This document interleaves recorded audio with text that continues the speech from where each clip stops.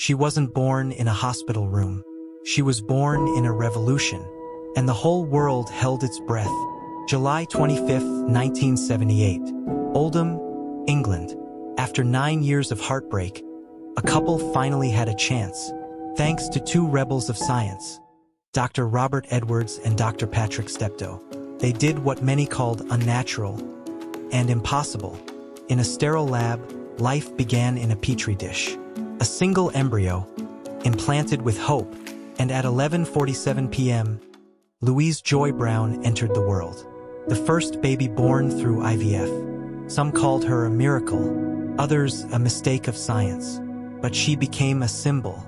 Today, over 8 million lives owe their existence to that night. One cry changed everything. From heartbreak to hope, Louise wasn't just a baby.